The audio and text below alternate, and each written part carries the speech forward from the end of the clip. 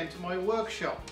Today we're going to put together a multiple 3D model in the new ArtCam standard.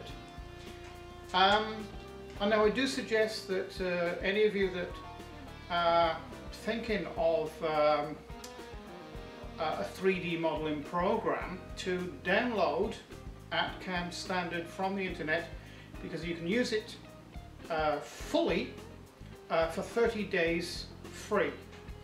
Um, I think that's a very good idea um, because you know if you find out you, you can't get on with it uh, or uh, you don't like it, you prefer another program, then you know you haven't lost anything.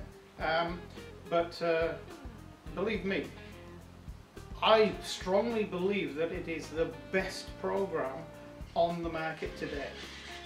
Uh, within ArtCam standard, um, it's vastly different to uh, the old ArtCam Express.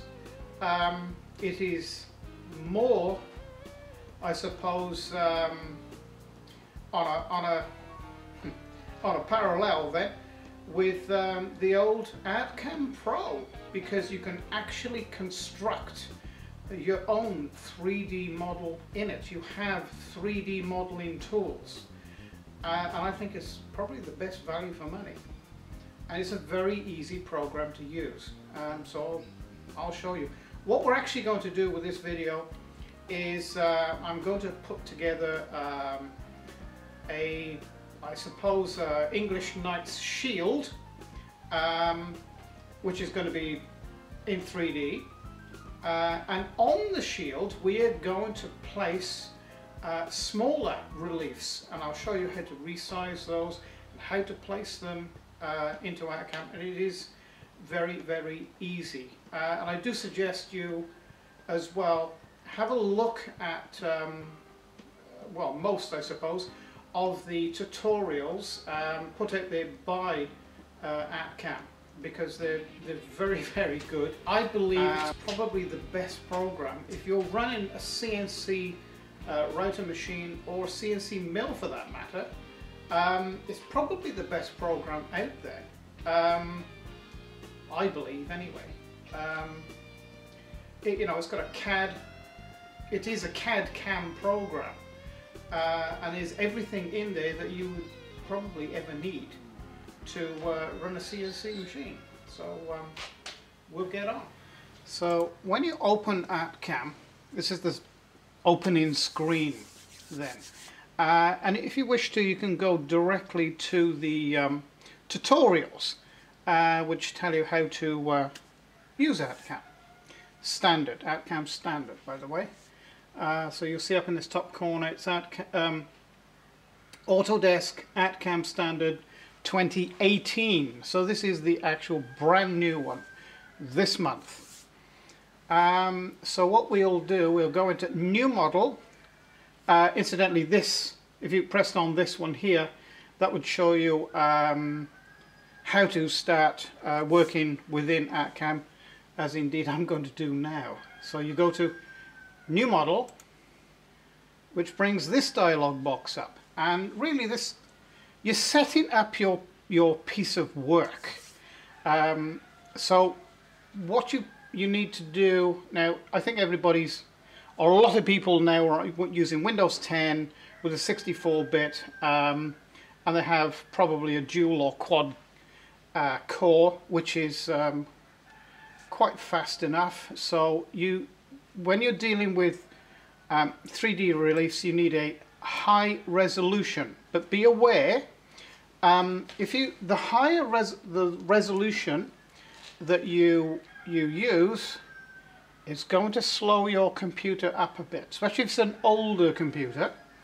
Uh, but if if you raise the resolution, you get a far detailed um, relief when you when you cut it. So this is what I normally do, put it up to maximum because I've, I've got a fairly new and a fairly fast computer. Now at this point you can either um, elect to work in millimeters or inches. Um, I always work in, in millimeters, in metric. Um, it's the modern thing to do I suppose. Um, so also at this point you can choose um, the size of your material. Uh, now, in uh, in fact, this is this is already set for what I what I need. Uh, 250 250 millimeters by 230 millimeters. I'll just pick up the piece of work that we're going to be using. Now, so I've already set this this up. This is the the piece that we're we're actually going to be cut into. It's a uh, nice piece of pine on the back, and there's a nice piece of oak hardwood on the front. I've laminated it onto there and we're not going to cut all this a lot of this is going to be waste um, because I'm going to be holding this down on the table um, but so we're, we're, going to be coming just past and just past this way so hence uh, it's uh, 250 by 320 which is just 10 millimeters bigger all around than this piece of oak so it ensures we, we we machine the whole area. Also in this uh, opening screen, this is the point where we can change the origin of our program. So at the moment it's set in the middle, but we can choose any corner we wish. Now if it's a CNC milling machine, it's normally this back corner, but a CNC router is either this corner at the front here or the center. I like to use the center in this uh, situation and I'll show you on the machine how to change a tool and when this is machined away how you can still find the, the, the Z. Uh, that's not a problem. So I like to use the, the center uh, as a start point and we say OK.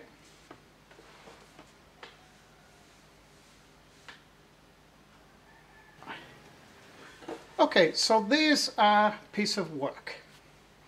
Now what we can do, get the cursor, we can go up here to Relief Clip Art Library. So we'll open that. Now this is all the preset reliefs that is in ArtCam. There's over 600 of them, which will keep you busy for a long time. Um, and there's vastly more that you can download um, either in grayscale or as a relief for free, a lot you have to pay for, um, off the internet. But like I say, within this program, you can make your own relief. You can actually make one of these fairly easily when you get proficient. But for a start, you can start using the reliefs that are available within the program.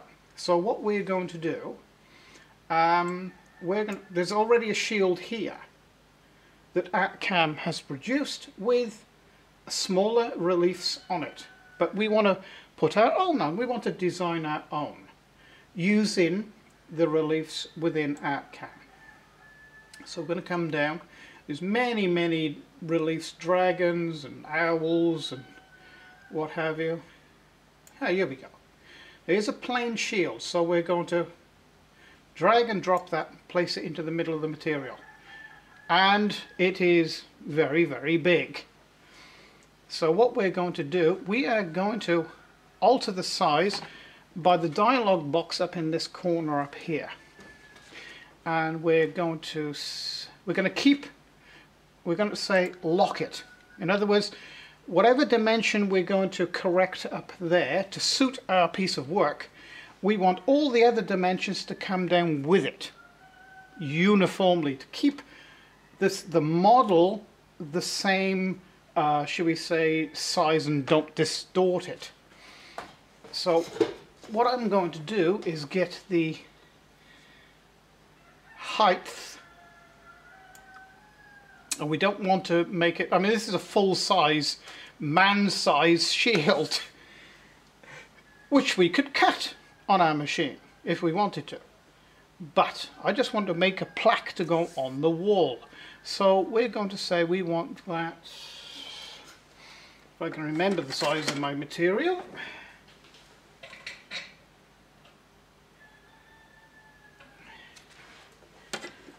Two ninety five.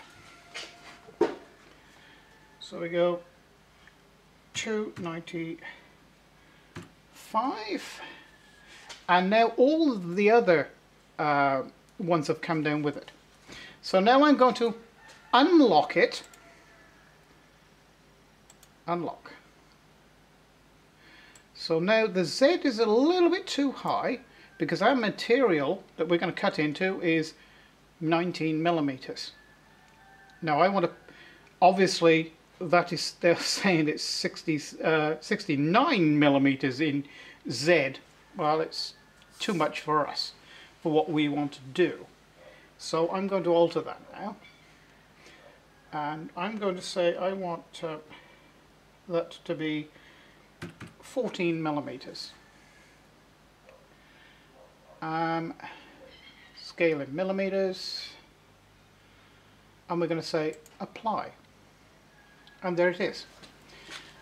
Right so now now we have the right size of 3d relief uh, it's not placed into the center of our material. So to do that is fairly easy. We just come here to the origin position. And we just go 0 0 and apply.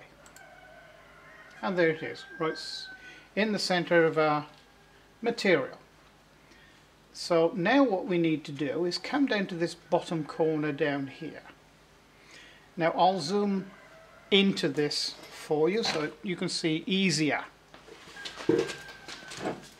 now down in this bottom corner here um, before we press paste, uh, what we need to do is alter this. We can uh, change this to several different methods of placing this into the material. Now we want to put this into the model so that would be cutting it down into the model. Now what we want is to, this is uh, merge high. Let me see.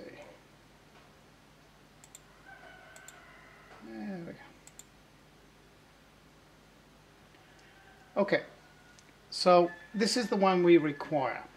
Now in later videos I will describe to you uh, how these different methods uh, of placing a 3D model into uh, a piece of work, how they differ. And uh, so at the moment we just need this one here. Okay, so we say paste. And there is our shield. Now up in this top corner here, you'll see a little little box. Now this is the, the, the viewing uh, area I suppose. Now on several of these little windows you'll see there's a little triangle. Now, if you hold the left key down it'll bring out a, a flyer um, dialog. So you can click on that one and it will change it and you can see that we've placed it in and it is indeed a 3D model. It's standing out from the material. okay but it makes it easiest e it makes it easier for us if you look at it square on so you can see exactly where you are positioning our 3D models so now what we're going to do is we're going to choose several of the um, 3D models or clip out out of the clip art library um, into our shield. So I think I think the first one for this top corner will we'll take a castle as it's a knight's so what we can do then we don't necessarily have to change the figure work up there yet um, you can manually put this in until it it looks about right. It looks the right size. If you use the arrow keys on your your keyboard as I am doing now you can precisely position it. Um, little bit bigger this way. Just a little. And that looks about right I think. Maybe down a little bit more. There. Now I like that. Um, but now I want to alter the Z height because I want that to be a I want it to stand out more. Okay so because at the moment it's saying it's going to be two millimeters or thereabouts. That's only going to be slightly risen. I want some more detail in it. So I'm going to say I want five millimeter. So I'm going to now apply that. So it's applied and I want it in that position.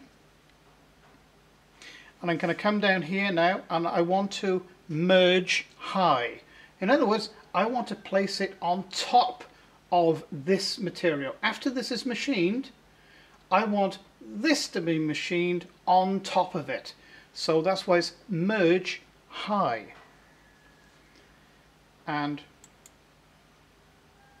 place. And there it is. It's as simple as that. It's nearly as simple as drag and drop, but uh, obviously there is some things, some dialogue that you have to put in to tell the program how big you want it and exactly where you want it. Uh, so it's, as, it's really as easy as that. Now then, I think...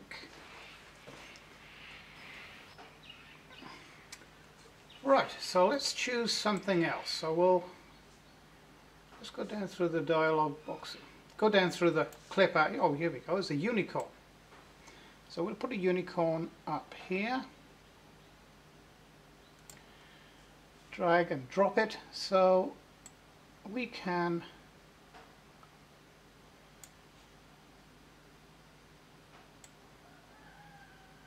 it needs to be sort of um, there we go that's going to suit in there very nicely. And really it's as quick as this. Uh, so now we go up in this dialog box and say, okay, we want this one to be 5 millimeter as well. We'll be fairly uniform about this. Apply, and again, merge high, plus, add it. And it's there. So it's a very simple process.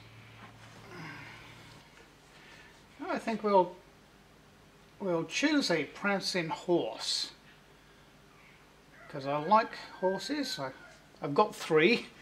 I also like Ferraris, so we'll put a a horse in here.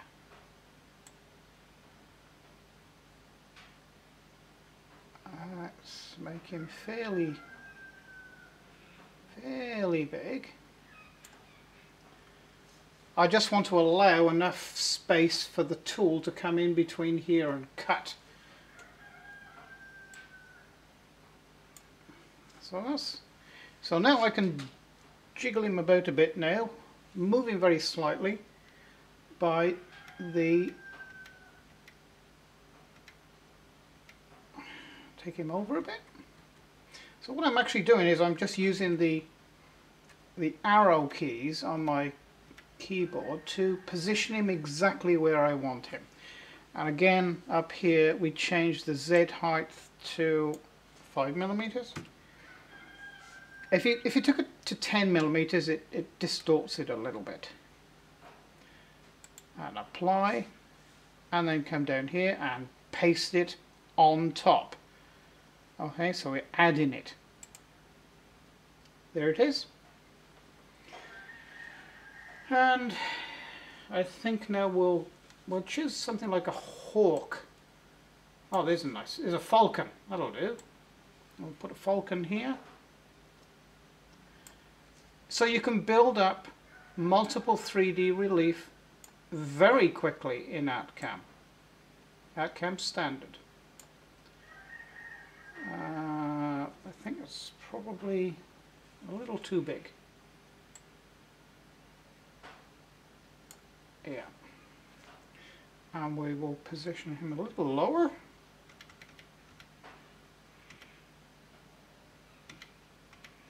There. Just to match up with that one and that one.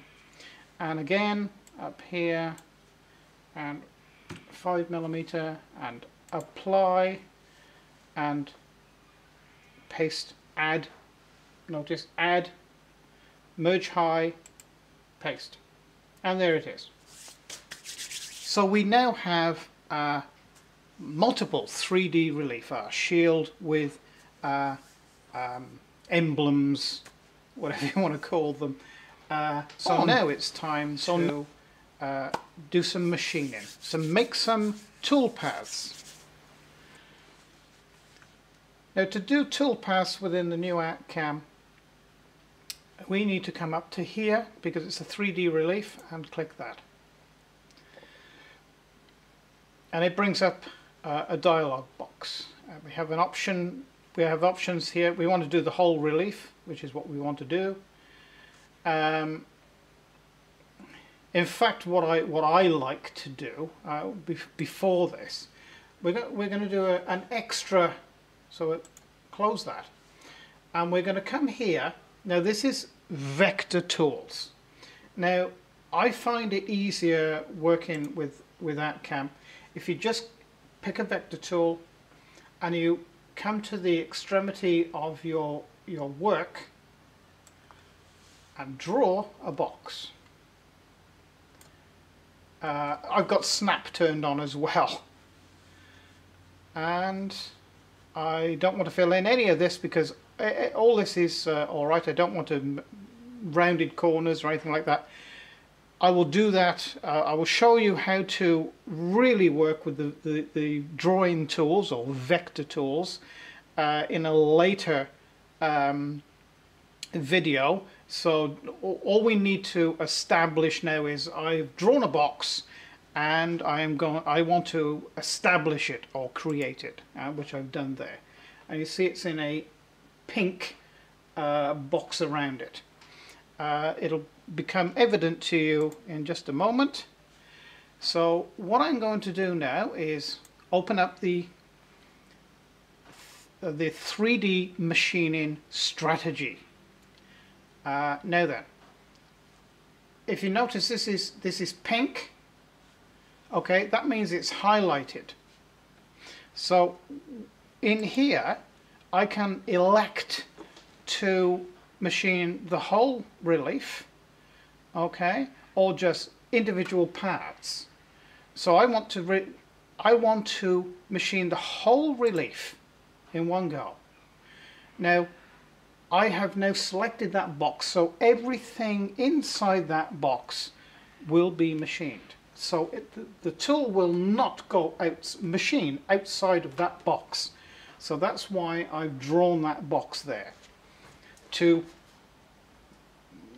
give ArtCam an indication well that is as far as I want you to go um, so we're going to take a roughing option so we open this one up now, all these tools and speed and feeds are made within ArtCam.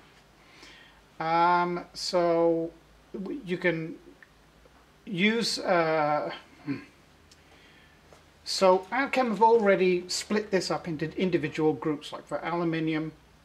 Uh, this is for aluminium roughing. In actual fact aluminium roughing uh, it is about the same as hardwood roughing. So Anyway, I'm going to draw it down. Uh, steel, wood, here we go, wooden plastic. Um, and we're going to use a 6 millimeter ball mill. Because you can you can machine away a lot of material very quickly with the ball mill. Um, and we're going to select that one. Now first of all we're going to now reopen this and we are going to fill in this dialog box. Now this is where you fill in the speed and feeds for your machine now my machine uh, this is the uh, this is Gwen, the one that I have completely rebuilt. Uh, and your standard machine from, if you buy it off eBay, won't be able to do this. Um, and I will tell you that the new machine that I'm having delivered the end of the month will do it very much faster and very much more accurate even than, than my machine here.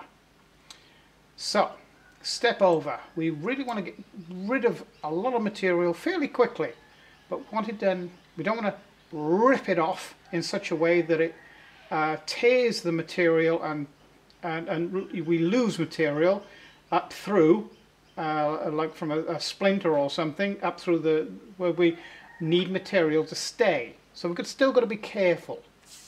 So we're going to say we're going to have a, a one millimeter, one 0.0 or 1 millimeter step over. So in other words, it's going to machine across this way, step over 1 millimeter and machine back this way. Uh, step down 6 millimeter. I normally do about 5. Um, feed rate. Now, my machine will feed a lot quicker than that. Uh, so we're going to say 60 millimeter per second. So it's millimeters per second. Okay, so that's, that's getting along.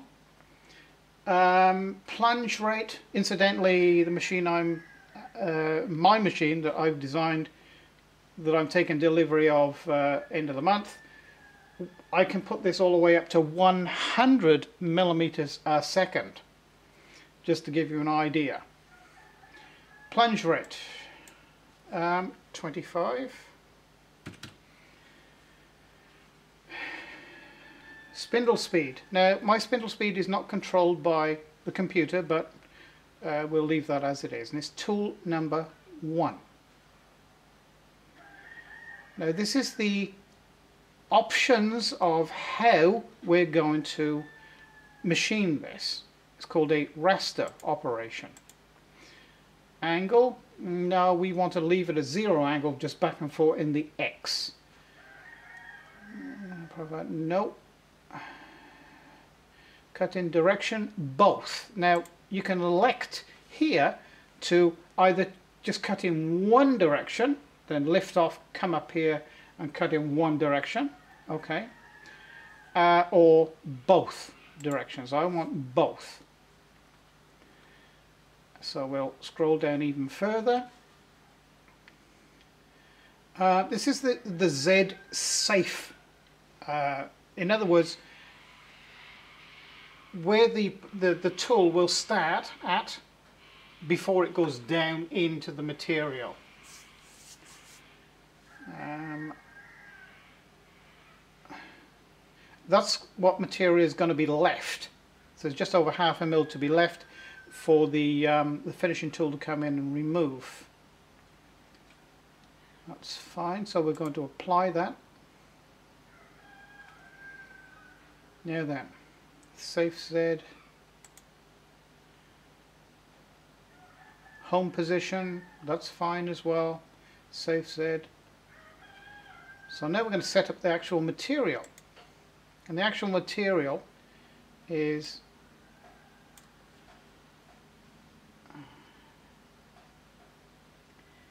18.5 18.5 model position top of the block. Material zero top of the block. I like to keep it all at the top of the block and this is the material that you're going to be left with at the bottom. So here's a, a lighter color. And it's actually telling you there there's roughly about three millimeters going to be left which is fine. So we're going to say apply. So the next thing to do now is to name the toolpath. So you have you you you you, you know what it is uh, and what it relates to so we're going to say and I, I abbreviate everything so we're going to say, um, so it's a roughing, so it's a rough, and it's a six millimeter, and it's a, it's a ball mill. So we're going to calculate now. So the computer at the moment is doing millions of calculations and writing the G-code.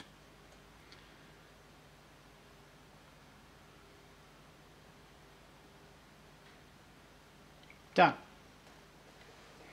So that's the roughing taken care of. And it will actually uh, go over that material approximately three times. So It's going to machine three times because it's going down five millimeter at a time. Actually, it might even do four times. So to verify that, we can go into there. Oh, I don't know whether you can see that. Let's have a look. There we go. So now you can count how many times. So it's one, two, three, four times. And you can see that it's left a, a little bit on the bottom for the finishing tool to come in. So that's how you determine, and you can see exactly whatever dialogue you filled into the dialogue, whether it's actually going to happen. And we can check and see, well, yes, it is going to happen. So we come back up here again to the 3D toolpaths and we choose a finishing option. So the difference between finishing and roughing obviously within the dialog box in here the speed and feeds are set up uh, differently. So that's why there's uh, uh, they're segregated then. So we come back down through here wooden plastic and we're going to go three millimeter ball mill. And we're going to select. Dialog box comes up again. Um, Whole relief, it's already still selected. Remember that box around the outside, everything inside of that. So here we go, the step over is 0.3 of a millimeter. We'll do 2.5. Quite a very fine step over. Uh, step down 3 millimeter. Actually we'll do 5 because we want to make sure that it does it in one cut only. Feed rate 76, a little bit too much for, for Gwen. So we're going to go 60 because otherwise she might start losing steps. No problem for the new machine. Uh, 25. Actually, we might be able to make that 30. Uh, if I make it more than 30, um, it might start losing steps. Um, and for this I would probably go 22,000 RPM. Uh, this is number two, tool number two. Uh, tolerance, that's the tolerance. Uh, classic raster, XY, spiral. Classic raster is fine. That means it'll just go back and forth, back and forth, back and forth like this. Um, so in this case we want to do it in one pass. So you don't want it to do multiple passes. We want it to do in one pass. So this is a finishing. So fin. Abbreviate everything. I do. And it's a three millimeter. Ooh. Three millimeter ball mill. This is going to take a fair bit of time, even for this pretty fast computer. It's going to make literally hundreds of millions of calculations. Nope, oh, calculator. Sorry, calculate now.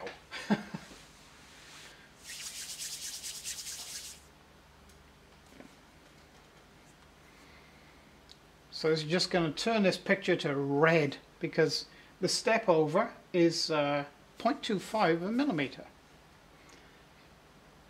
And the computer is literally going to make billions of calculations actually. There it is. So now we'll machine this in ArtCam in the simulator, which is here. Um, standard simulation, um, this is just giving you general information, uh, pixels and what have you.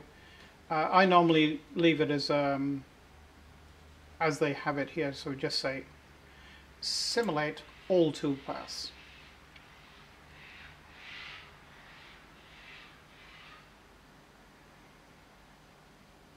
And there you go. What you see on this picture within ArtCam is exactly what is going to be represented in or with your machine. There okay, so the next thing to do is to come here and save the toolpaths. So this one's already selected here. Uh, save it in F, I think we're in F.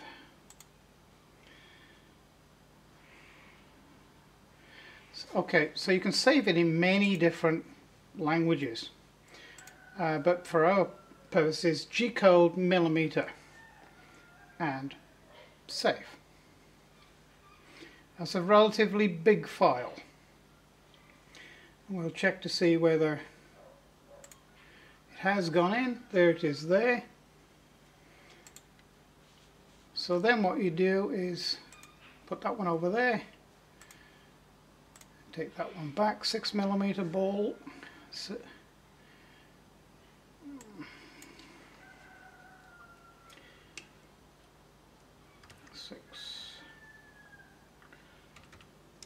meter rough